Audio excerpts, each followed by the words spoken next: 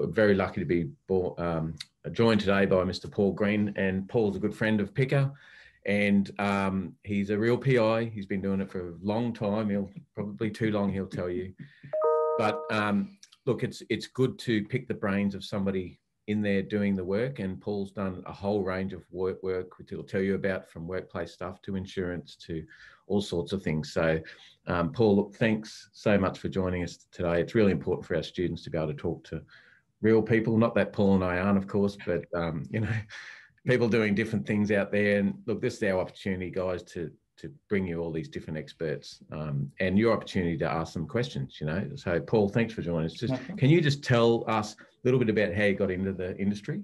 So I started in the New South Wales Police Force and did a couple of years there before I was actually offered a job uh, to leave and go into. Initially, it was all accident investigation and the basic fraud, general insurance type areas and then from there it just grew. And, and as time went on you moved into different parts of the investigations fields and got more experience. Yeah. so i've been a licensed i'm talking about how long i've been in the industry i've been a licensed investigator since 1990 yeah. If that helps you if you can do maths. Um, and what sort of work are you doing now? What's your day today look like now? So move more into workplace investigations. I still do do work cover common law claims, and I also still do some CTP. I'm a big believer that you've got to stay spread across the field because you will, as time goes on in the industry, you'll experience um, highs and lows in different areas. So I've always believed in spreading a little bit of your work around, and same thing with working for different groups and different people and different clients. Yeah, interesting. Can you tell us a little bit more about that the C- CTP and the common law claims because that seems to be an area, uh, quite a big area of yeah. investigation where a lot of people may find themselves starting out and whether they want to or not. But yep. um, yeah, yeah, I think from the starting out point, it's always going to be your general insurance lines, your CTP, and your workers' compensation fields. So your CTP, obviously, everyone knows CTP insurance.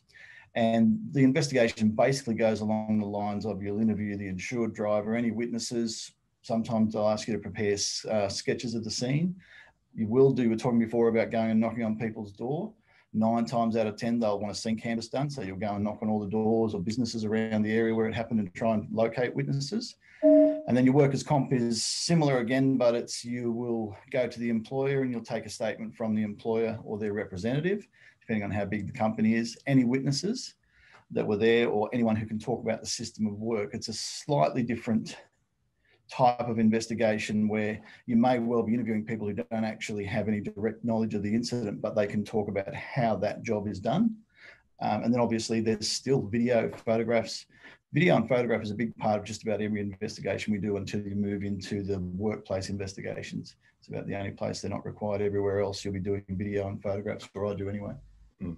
And look, probably one of the burning questions most people seem to have is look, I'm doing this um, cert three. I want to get licensed as an investigator. Will I find work? Will I find work? One, I guess we can talk about how they find it and the best way to do that. I, I believe there's still plenty of work out there. Um, and in a recent podcast that Greg and I discussed what's actually happening in the industry at the moment. And I said, I think if you went along and did uh, a review of all the guys who've got licenses and are currently working, you probably find we're all over 50. So any person, any young person coming into the industry at the moment, I think has got a great opportunity to get skilled, get involved, and that can only really be done, I believe, by getting in and working with some of the principal contractors. I think it would be very rare for anyone unless you've got the right connections to go straight in and get your own clients. So you've got to be willing to go in and spend the time and, and work, unfortunately, for the lower dollars and get in with the principal contractor. They will get you on their panels, which gets you your experience, which then allows you to grow from there. But I believe there's plenty of work out there at the moment. Like I've not had a shortage of work for probably five years. Yeah. You know, and even then it was a case of I'd gone out and specialized in a particular area. So then when that work dried up, we had to then go back and move into the other forms of mm. investigation that we can do. So that's why since then I've maintained my workload across those number of different streams so that there's no shortage of work anymore. When one seems to get a little bit quieter, the other one sort of props it up and keeps it going. Mm. So yeah, no, that's and, and that, that is my advice to anyone wanting to get into the industry is you've got to do that little bit of hard time for the lower dollar or find someone that you can go out with and get some experience that'll help you get in. Um, and I don't think it's easy by any means to get in with some of the the bigger clients, your insurance companies, your solicitors, etc. You've got to go in and you've got to show them that you're willing to learn. You've got to show them that you can do a good quality of work. And then same with the principal contractors, they want to see someone's willing to come in and learn and spend the time and provide quality work so that they don't have to deal with issues out of it. Mm, yeah, that's good advice. So, you know, you've just finished your cert three. Let's take you back. Um, knowing what you know now, what you know, what these students that are doing this, wondering, you know, where and how, practically how they, what would you do? And and let's talk about some of the bigger companies that they could probably approach. Yeah, yeah, yeah. So here in Queensland, of course, you've got Verifact, Morris J. Kerrigan Associates, Procorp, Quantum Corp, those sorts of bigger companies. There have been quite a lot, of ads in the paper over the last mm, six yeah, to eight I've months, that. and that's a place to start. But also, don't be afraid to put your resume together, show them what you've done, maybe even a couple of samples of your work, and send it through to find out, you know, your investigator. So find out who the operations manager is for their investigations department, and and send a, an email through. Um, I think you'll always find them receptive to finding a new person or another person. Uh, even though if you're in the middle of Brisbane, it's quite obviously a condensed area. There's a lot of investigators in there, but you'll still find that they're looking to put someone on the books that they can rely on to be able to send a job to. And that's probably the other piece of advice is there's a lot of investigators out there who won't be flexible. Like if the charge out point is here and they need a job done in a certain place, I've always been very flexible with all of the principals and, and even my clients that I have directly, because the idea is that you might take that job on this time because Joe wouldn't take it on, and you'll get the next one that comes through there as well if you do a good job. Mm. You know, they, once they see value in using you, and, and to get the start, you just have to provide value, which means some of my clients that I, that I work directly with, I started at a lower rate than I get from principal contractors. But the idea was to get in, show them that I can provide them with quality work, and then as time's gone on, we've discussed the hourly rate, they've realised the value for dollar is there. So you know, it's now increased to more than that. Yeah.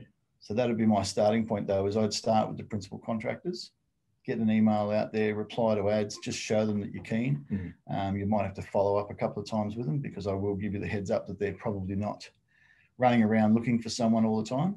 Mm. Um, so follow up. Don't be afraid to follow up, and don't be a pest, but don't don't be afraid to follow up and show them that you're interested and keen. Mm. Um, I, look, I think the other thing is, and we've sort of touched on, it, is that you know you don't need to have been an ex-cop to be a good investigator, and you've worked with probably hundreds of them over the years, and you've been in the PI business far longer than you were in the cops. Mm, yeah, um, it, that's true, isn't it?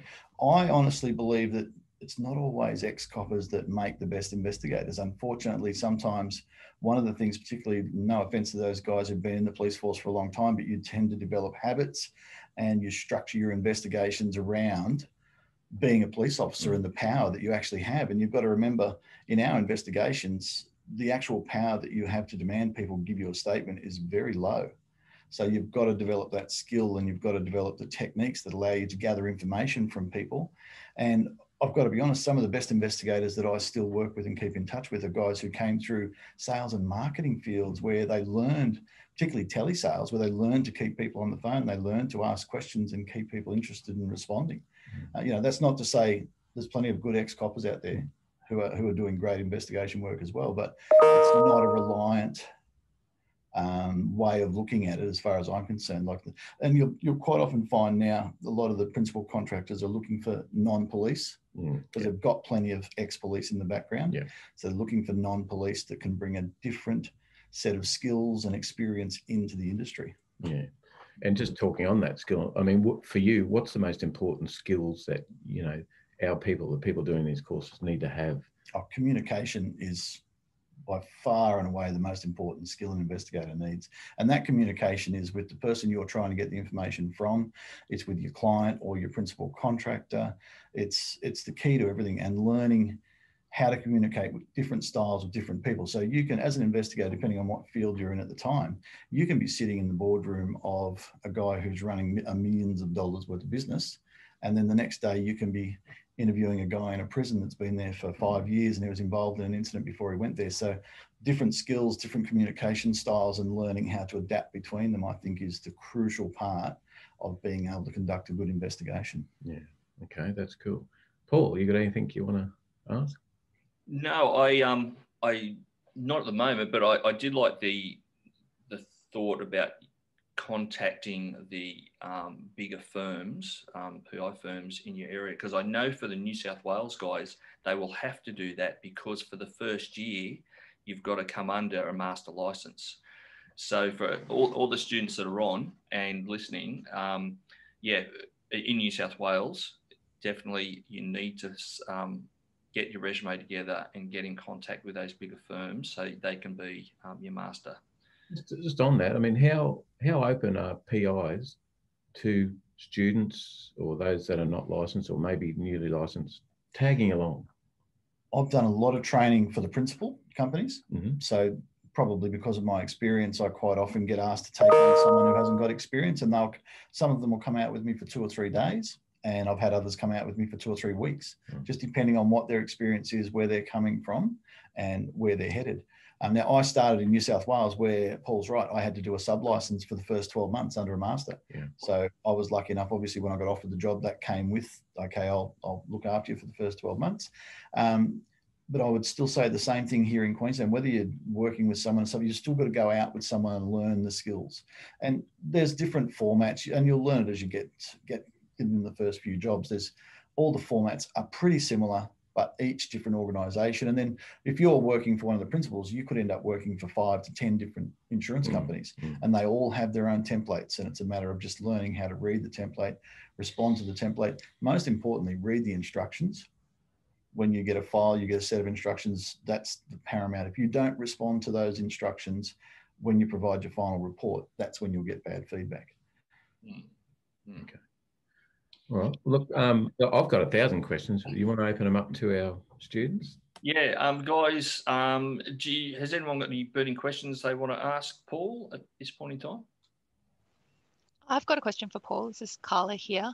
Um, so I'm interested, Paul, you were talking a lot about going out and doing interviews and I guess going to sites and different things. I'm interested in the kind of, um, you know, intelligence gathering you do before that. So what sort of tools and techniques do you use on to do online research? Changed a lot over the years, Carla. Initially, in the old days, we would get a file, and before we had things like Google Maps or Google at all, you would just have to turn up and you had very little intelligence at all. These days, depending on what the file is, obviously, if it's a workplace, I, I, I research the employer uh, and go through and just look at who they are. And you get things like ABN numbers and those sorts of things that you're going to require before you even go out there. In relation to CTP files, and particularly in relation to general insurance files, when you're doing fraud, I actually do a fair bit of research on the person I'm going to interview. And it may be a witness or it may be actually the subject of the file. But we're lucky enough these days to be able to look at it. And because you want to know if you're heading out there and that person's got a bit of a criminal background, you want to know before you head out there that you're going into a situation where you just might need to be a little bit cautious. And obviously, and how are you finding that a criminal background? Well, that's you can generally in a Google search, you'll find that it'll come up if someone's been involved in something serious. It hits the papers. So, and what I say to people these days is when you Google something, don't stop at page one because that's what most people do. They'll Google someone's name, they'll look through page one. Oh, there's not much there. You go through. Now, obviously, there's a lot of issues there as to you've got to confirm that it's the right person, but that's also the next step is whether or not you want to move into different softwares. If you want to full on get into intelligence within the industry, then you can move into some of the other softwares that are available, which will give you more information. Yeah. Uh, you'd be surprised at what information is out there available for free, though, if you're willing to have a bit of a look. Google Maps is the other one where, you know, if you want to have a look at the house, look at the property, it's just a thing that I do probably from the little bit of time I had in the police force, but I always look at the property I'm going to on Google Maps and make sure where I park my car is where I'm going to be able to get a good quick exit. So always, if obviously if you're in a cul-de-sac, you don't point your car facing into the cul-de-sac, you point it facing out. Those sorts of just little things. Having said that, it's not a great concern in the industry. I think two or three times in 30 years, I've had issues where I've actually got up and left interviews because I thought the person was going sort of down a path where I didn't think we needed to go. So it's not a big issue, but it's always something to keep in the back of your mind. Yeah, good. Thanks, Paul. Anyone else got any questions? Surely. How much money am I going to make? That's the next one. Will I be buying my Ferrari and growing a mustache? I always like to remind people that just like a plumber, carpenter, a consultant, you're coming in and you'll be working on an hourly and a kilometre rate. And that's one of the biggest issues I find is people come in and they think that they're just going to get a file and they're going to turn it around, going to make a lot of money. Now the issue becomes is how many hours do you want to work? and we talk, we haven't really talked about it today, but in our podcast, we talked about the flexibility of the industry. And that's one of the reasons why I've stayed in the industry. I very rarely miss anything that my kids are doing in the school in the schoolyard because of the flexibility. Mm-hmm. That's one of the biggest issues here. Um, but you need to realise that if you're going to take two hours off in the middle of the day to go to your kids' school play, you've then got to make that up at some stage. Otherwise, it's two hours that you don't bill out that day. Mm. So my biggest thing is the, the money's there to be made. It's up to you as to how many hours you want to put into it, how long you want to work for. Mm. That's that's what will determine in the end how much money you make. There is very good money to be made in the industry. Once you cut your teeth, get some experience, there's very good money to be made. You can make a very comfortable life for yourself, but you've got to be willing to put in the hours just like any other person with a trade qualification or anything does. Mm. And on the flip side of that too, what are the downfalls of this industry and being a self, uh, you know, uh, self-employed investigator? The downfalls are, I believe, the biggest downfall is setting yourself up to be financially stable through the peaks and troughs. Because even in a period where you've got a lot of work on, you'll find that you may not turn around work for a week, two weeks. So, and I'm actually, I can tell you right now, I'm coming off a period where I didn't finish a job for nearly two and a half weeks. So, therefore, the way that if you're working with the principal contractors or your own clients, depending on the terms you've got with them, there's a period there where you're not going to get paid for a period of weeks. So what I've done over the years is just build up a, a balance level, and that's where I like to keep that balance level. And so long as I've got that there, just like any other business, it's all on profit and loss on your balance sheet. So as long as you've got that there, you're right, and you keep topping that up and you keep that at a certain place. Um, when you obviously when you're first starting out, you don't have that. So, but the idea too is you should only have a few jobs at a time on, so you should be able to turn them around relatively quickly. You know, there is talk in the industry at the moment about um, bringing in systems whereby you'll be able to put incremental bills in. And I tell you, like I've got two jobs on at the moment that I've been working on for 12 months. And I've gone back to the clients. At the first one was at three months and just said, look, happy to keep working on this for you, but obviously we can't, being self-employed, you can't carry the debt for the period of time it looks like it's going to take to, to do the job. So they've allowed incremental billing. And again, it's that communication. They know you provide good quality work. They know that you're going to follow through and finish the job off, no matter how long it takes. So they've allowed incremental billing in those circumstances. So don't be afraid to also go back and talk to your client or to the principal contractor about that type of thing, about options. Yeah, that's that's good. That's um, I've speaking with a mate of mine who's a, an accountant, runs his own business. They he said the standard most people work off is to have three months of wages in your bank account. Yeah. If, if you can get if everyone can get themselves to that sort of level and that's what you sort of operate on, that you've got um, three months there. He said that's a good way to operate. Yeah, that's exactly what I have, Paul. So that's a right good on figure. Yeah. Um, what would a question I, am going to ask for the students um, is if you're starting out as an investigator, what would be the hourly rate that you would hope to um, bill?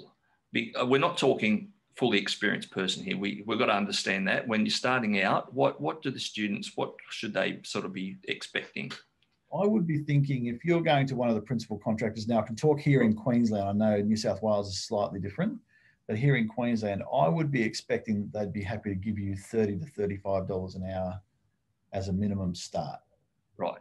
And I know it doesn't sound like a lot of money, but I think that's where you'd have to be willing to start. You may get more, and you've also got to remember once you get your first few jobs, and if you can do a good quality job, you should be able to jump through that rankings pretty quickly and get yourself up to where everybody else probably not you know there's there's probably a small number of us who get paid a little bit more than others because of our experience and because we work across a lot of fields. Yeah. But when you're coming in particularly with a principal contractor they're going to stick you into general insurance and ctp to start off with.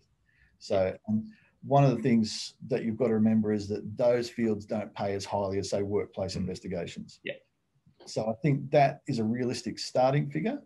Um, if they're offering you less than that, be trying to take advantage of you just to try and get someone in and get some experience. But you've got to remember they've got to get you out with an experienced investigator So you're not making any money for them. Unfortunately, it's the way this industry works is that you're a bit of a liability until you get enough experience to go out and do your own job.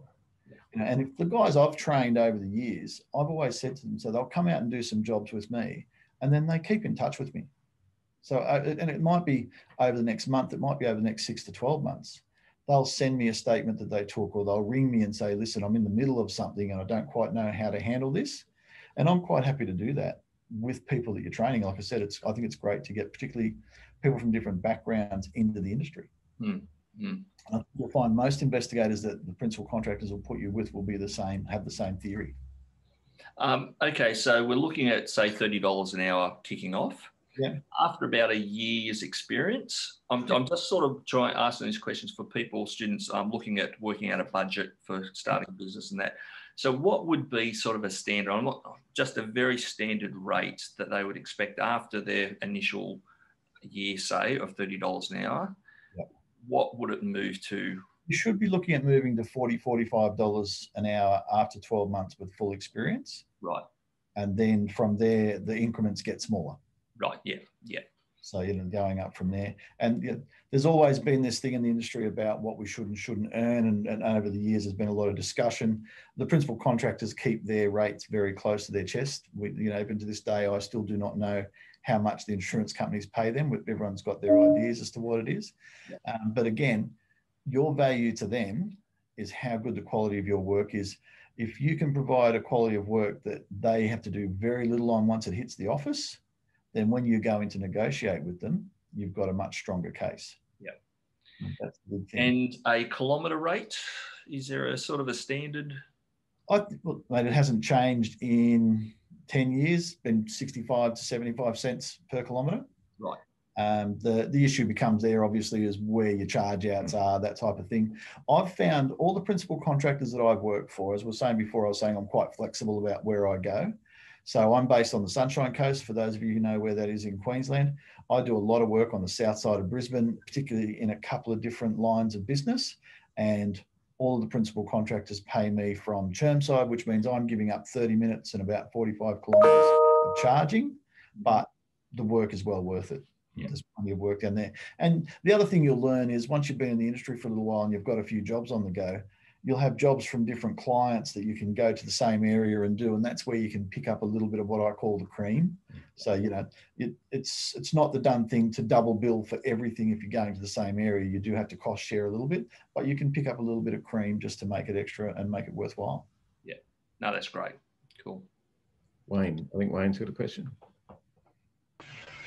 Yeah, guys, just back on the master license um, section if I was to work for like a big insurance firm, Allianz, NRMA, anyone like that, do I still need to have a, a private investigator's license as well? It, here in Queensland, it's a different system. The, as, as, I understand it, the insurance companies can engage a private investigator, not a private investigator. The insurance companies can engage an investigator, and they don't necessarily need a private investigator's license although you'll find most of the guys do. I've got a couple of mates who work internally and they've all got licenses because they all come from a sub subcontract background. But I do know that there are some former claims staff that are in the investigator positions with them. Um, and I think what happens, you'll find, is the insurance companies encourage them to then go and get their certificate. But I'm not sure that they are required to have it because of the way their legislation works. Okay, yep, yeah. As I'm just thinking, like, um, once I finish the course, if I can't go under, like, if I can't operate under our master license without that other license, if I was to pick up work with, say, NRMA or something like that, even though I've got Cert 3, I'm just thinking, would I still have to go and apply for the, you know, investigator's license or the private investigator's license? Yeah. Uh, what state are we talking, Wayne? New South Wales. I have a feeling in New South Wales you will have to have your license, but yep. but once again, just double check. I'm I'm not the all knowing on that. Please please double check with licensing on that.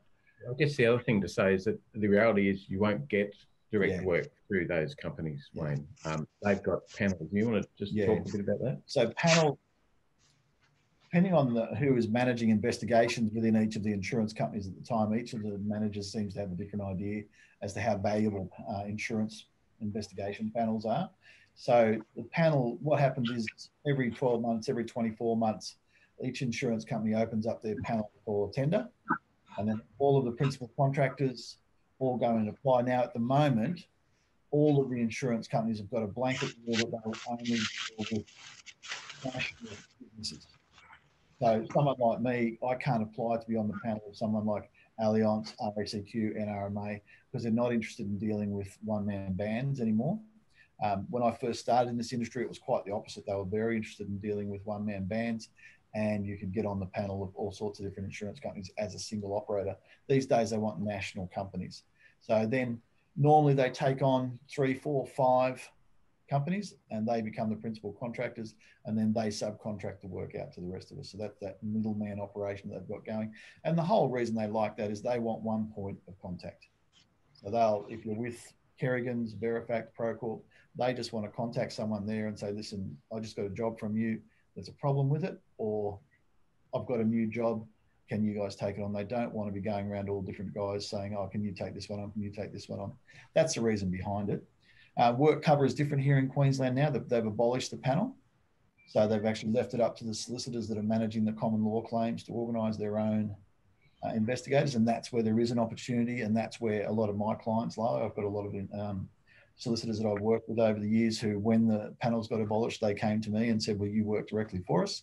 So that's a different thing here in Queensland, but it's different in each state. And that's what I suppose you need to get your head around is how you're going to run your business and what your model is going to be in each state. Cool. In New South Wales, Wayne, um, I've only got a mates who are still in the industry down there. Most of them, most of them have moved on now and retired. Um, but there is the opportunity to get work with directly with the insurance companies. But I think you'll find you will have to wait until you've got your full license. I'd be surprised if any of them would take on someone who hasn't got a full license. Yeah. Okay that doesn't stop you from applying, mate, if that's what you want to do. you, know, the skills in, and, and it comes back to the interview. Like I have, um, going back 20 years, I actually applied for a couple of internal positions up here in Queensland. When I, when I first came, I moved in 2001, I moved from New South Wales here to Queensland. And I wasn't sure whether I wanted to stay as a subcontractor or go internal. And I applied for a couple of jobs at the time and went for interviews and got offered one position and, and turned it down purely because I'd then built the relationship with the principal contractor and we went really well. Um, so it's it's not in the interview. It's all about how you portray yourself and the quality of work that you're going to be able to provide to them, and the willingness, in particular, to to put the effort in to give them a good quality of work. I think that's the most important thing. Your experience is obviously important, but if you can show them that you're going to give them value for dollar, like any job application, then you'll get a start. Um, is there much work with solicitors for criminal law investigations? Interesting. So criminal defence work is becoming more popular. It is, and I've got to be honest with you, Ellie, it's not an area that I do a lot of work in, particularly these days. 10 years ago, I did do some work for solicitors in that area. And I believe, talking to other guys in the industry, that it's a bit of a growth area at the moment, but it's not an area that I've gotten much involved in. I've sort of stuck to initially the other side of the business and then more recently the workplace investigations. So I can't give you any concrete evidence, but from what I'm hearing, um, for anybody who doesn't know, you can get online on Facebook. There's a couple of forums that you can apply to come in on. Uh, the guys on there are really good. Like even I go on there after 30 years, I still go on and ask a question here and there about something I'm looking at, or you know, particularly when you're looking at moving into different fields. There's guys on there with lots of experience who are quite happy to talk to you about it. Mm. Good. Thank you. Appreciate that. Thanks. Well, criminal defence, um, yeah, it's a it's a niche area, and you would have to have some a fair bit of experience. I, I would suggest for a, a, solicitor to take you on, probably ex cop, I'd say, only because they know what the cops do, so they've sort of got a bit of an advantage. But look, in, in, the weeks or months to come, we'll be talking to another PI who's based in London now, and he's fascinating story about getting a fellow in Singapore off death row. Mm. Um, and it was in in the papers about a month ago, and um, it's a fascinating story. So that you know there is that that's the highest level defence, yeah. obviously. Yeah. Good for that guy. He's not dead. And there's opportunity there. Like I say, mm. that's that's where I think one of the key things that coming into this industry at this time now, you need to be open to different lines that mm. those of us have been here a long time haven't even worked in. And I think there'll be newer lines than that even coming with all the cyber work, etc., that's going on now. Um, I think over the next five to 10 years, the industry is going to go through a substantial change again.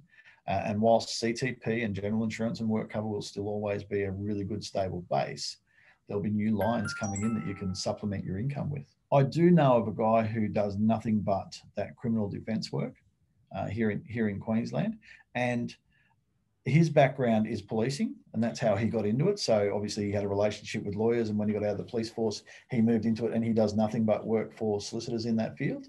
Um, and again, Elliot's just like we were talking about with how to get a start with the principal contractors. Put your resume together. If you're studying at that that type of level, you'll probably get the attention of the lawyers when you start sending your resume through. Pick pick the firms that you really want to work for. Um, it might be a bit hard for you to find out who's good and who's not good to work for because there's not going to be a great deal of people who actually specialize in that that field in the industry. But my theory has always been I'll take on a job from anybody and start working for them. And with the time you've done three, four, five jobs, you know whether or not you want to develop that relationship.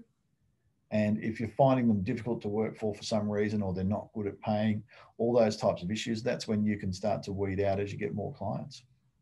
PICA sister company, of course, Forensics, um, which Paul and I are also um, directors of, where uh, we're moving into this um, legal area as well. And part of that will involve some, you know, advertising ourselves as being available for criminal defence.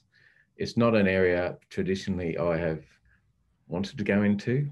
Um, being an ex-policeman, I typically don't want to um, help defendants. But look, the, the thing is, it's about the justice system, and everyone. And look, there are people that are wronged up, and as said, in in months to come, we'll be talking to a fellow that um, got someone off death row in in Singapore who had plant who they alleged some you know had some drugs planted on him. So it is an interesting area. Unfortunately, all those of us who come from a policing background, even with the small bit that I've got, you tend to get a little bit jaded and it's a it's a warning to everybody out there who's doing their cert three, is that when you're interviewing someone, you never ever presume that they're guilty mm. or innocent. And I can honestly tell you, after 30 years of doing this, I've given up trying to tell whether someone's telling me the truth or not. You know, when you start out, I often used to, oh yeah, I think he's telling me the truth. Now that doesn't weigh in, of course, because it's all about the mm. evidence and what you can put in your report at the end. But it's an interesting way to look at it and and it's a very conscious thing that you have to have when you're doing an investigation is to make sure that you don't fall into the trap of feeling sorry for someone because they've got a great sob story or likewise i've met this employer and he's a great bloke so he can't be doing the wrong thing by these employees. It's all about what the evidence says and that's the only thing that matters in the end. All of those other things can be great investigative tools because they can lead you to other parts like you know particularly things like obviously we all know hearsay is not admissible in court but hearsay is a great place to start and then dig deeper to actually get the evidence that supports what you're looking for a lot of people they'll as soon as they hear oh know it's hearsay i don't want to hear it i always say to people i want to hear everything that you want to tell me because i may not be able to put that in that statement we're putting together here but i certainly may be able to go and dig a little bit deeper and find that evidence somewhere else Mm. Exactly. I, I, agree with that, Paul. I came from a background as an intelligence analyst. Oh, and so, um, you know, my job was to find intelligence, and I still think it is. Um, and then you, from intelligence, you go and look for where where is going to be the evidence. Exactly right, and I think that is a growing part of the industry, Carla. I think intelligence, even in in general insurance, CTP, and work cover that I keep talking about, I think intelligence is going to be a growing area there. For those of you who don't know, on just about every work cover and CTP file that we do now, we're required to do searches across social media platforms because surveillance is a, a wonderful tool, but probably our most successful tool in having people charged with fraud these days is social media. Mm-hmm. God love it.